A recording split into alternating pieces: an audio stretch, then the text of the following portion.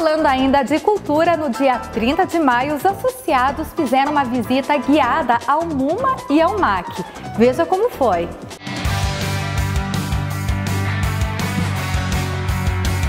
O Clube Curitibano promoveu mais um final de semana cultural aos seus associados atentos às artes. No MAC, os associados puderam conferir uma parte do acervo fotográfico deste, que é um dos maiores museus de arte do Paraná e que reúne as principais obras do Salão Paranaense. Ela tem, mas ela tem uma poética, né? Ela é, uma, ela é autoral de uma poética. Um dos objetivos da visita guiada também era reunir um público apaixonado pelas obras do artista plástico Domício Pedroso. O pintor e associado do clube faleceu no ano passado e deixou um acervo valioso no MUMA.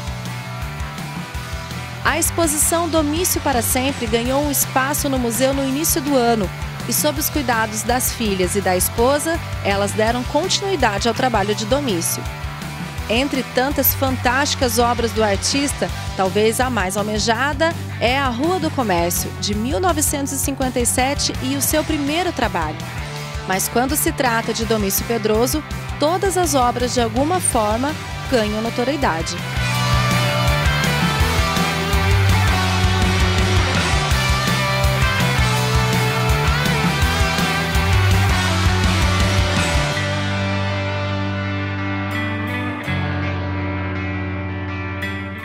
O Departamento de Cultura está de parabéns em promover tantos passeios aos associados.